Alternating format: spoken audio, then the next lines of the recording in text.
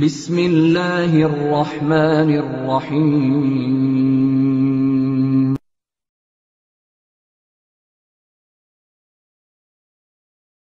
আসসালামু আলাইকুম রহমতুল্লাহ আবরকাতহ আমাদের আরেকবার জানতে চেয়েছেন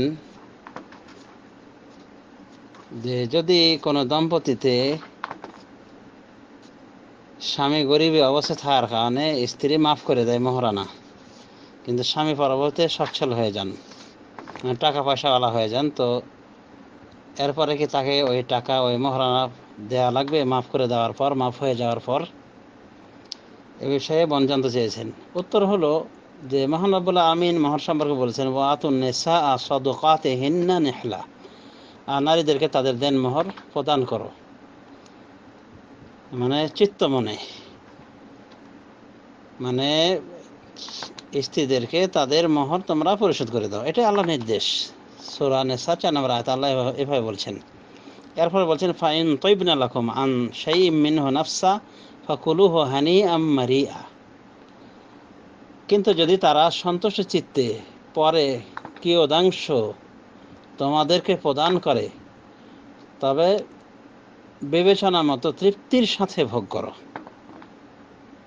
এভাবে আল্লাহ রব্বুল্লা আমিন সুরানেসার ওই চার নম্বর আয়াতে বলছেন। তো কি বলছেন? ফাইন তৈব আল্লাহ আনসাই মিনহ নাফসা। যদি নিজের মনে, মন থেকে মানে প্রফুল্ল চিত্তে, সন্তুষ্ট চিত্তে যদি মাফ করে দেয় কিছু অংশ, তাহলে তোমরা ওটাকে খাও।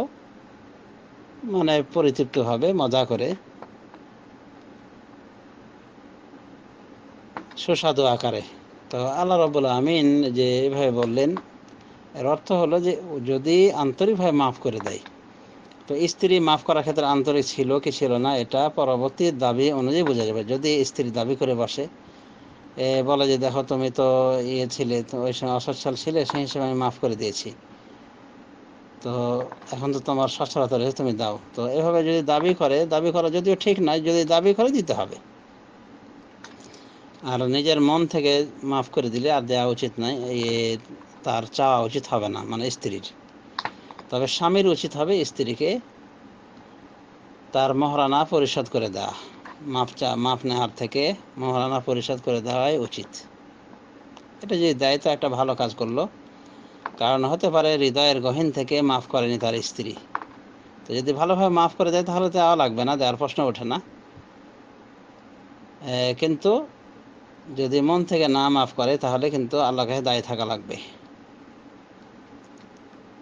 মন থেকে না মাফ করে বা প্রেশারের ওপর মাফ করে দিয়েছে। যেমন অনেক আহমক বাসরাতে স্ত্রী থেকে মাফ চাই মহারানার মাফ চাই এটাই তার সর্বপ্রথম কথা, নাউজুবিল্লাহ মিন জালেক তো এই জাতীয় লজ্জাহীন, নির্লজ্জ স্বামী তারা অনেক সময় এভাবে মাফ চেয়ে থাকে, স্ত্রীও তখন চোখের লজ্জায়, চক্ষু লজ্জায় মাফ করে দেয়। তো এই রকম মাপ আসলে মাফের পর্যাপ্ত নয়। মাফ হতে হয় প্রকৃত অর্থে। তো যা হোক, পরিশেষে আবারও বলছি যে যদি এরকম হয়ে থাকে, তাহলে স্বামী প্রয়োজনে স্ত্রীকে মোহরটা পরিশোধ করে দিবে। দিয়ে দেবে, এটাই হলো উত্তম।